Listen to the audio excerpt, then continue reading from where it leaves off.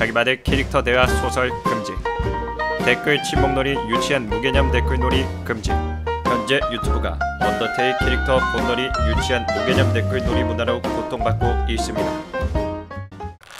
마침 시간도 괴물이 가장 죄책감을 느끼지 않고 잔인해질 수 있는 저녁 8시. 동상을 끝장내도 정말 아무런 느낌이 없을 것 같아! 오, 깊은 폐허이 XP 누가 와서 먹나요? 아, 뭘 사라고 싶다! 큰 소리로 말하지 마, 이 살인마야!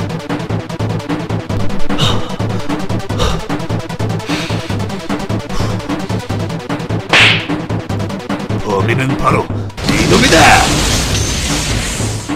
아저씨, 요즘 해골은 한 성질 하거든요. 예? 그 해골이 커서 된 게 나다 이 쪼렙 새끼야.